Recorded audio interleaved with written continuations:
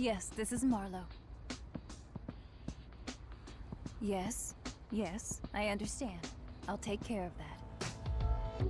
Mayor, your appointment with the governor seems to be delayed until after next week. Therefore, the report to the city council tomorrow will have to be... Mayor?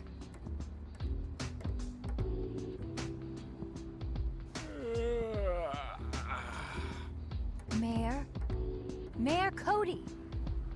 I'm listening, Miss Marlowe. I'll let you handle the city council report.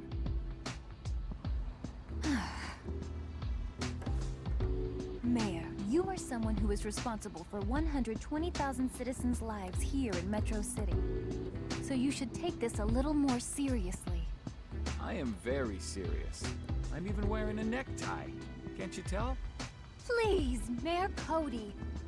Mayor Haggar, who previously held your position, asked me to do my best to support you in taking on this job. But if you can't handle the responsibility, then I'm not doing what I promised him. Yeah, yeah, I get it, Maisie. Huh? Driver, stop here for a sec.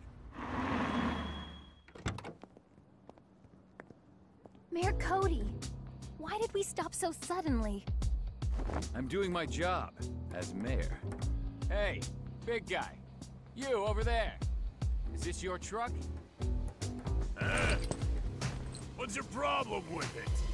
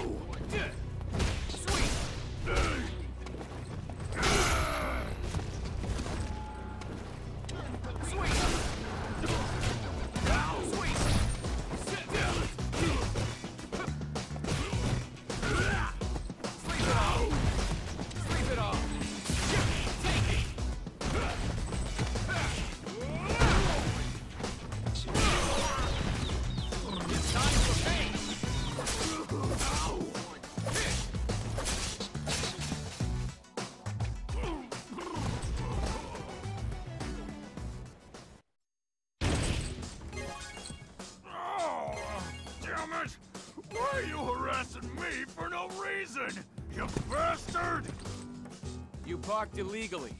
And because I don't like your face, Abigail. What? I want to improve the quality of life for the people of Metro City. I want to see everyone smiling by getting rid of garbage like you. What? Wait. You're Cody! You get sprung from prison? Now that I'm the mayor of Metro City, I have to ensure every citizen's bright future. If you have any complaints, take them up with City Hall. When Haggar finally left, I thought things were getting better. But now you come along. What the hell's going on in this city? Mayor Cody, why were you so violent? It was just a little conversation with one of my constituents.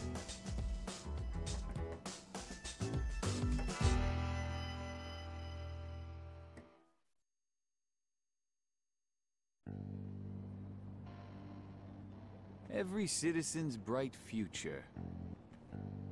Hmm. Sounds like a beautiful slogan. Truth is, it's not that I don't like this city. In fact, that's exactly why I fought to protect this city in the past. Yeah, the world was a much simpler place back then. All I did was just beat up on those who were acting like thugs in the city, and that would pretty much take care of the problem. But now, look at me. I gotta deal with the city council, public hearings, contract bids, lobbying, and the villains are now hiding like shadows, behind a system that protects them. I can't clean up this city by simply beating them up.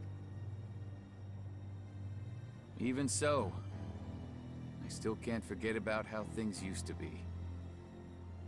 Back then, I felt alive. Endless, painful fistfights, one after another. Those were the days. Now look how boring it's all gotten. Responsibilities? By the way, I know you're out there. What the hell do you want? You've been following me for a while. Greetings, Mayor Cody. My name is Zeku. Ninja, right? Don't expect me to be impressed. I used to know a guy a lot like you.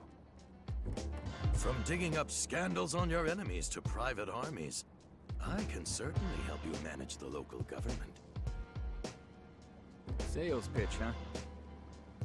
Sounds like a dangerous offer. Not quite sure I can get it approved in the city budget. Well, whatever. Since you're here, why don't you show me what you've got?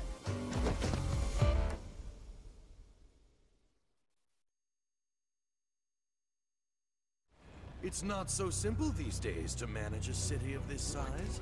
I can help support you from the shadows.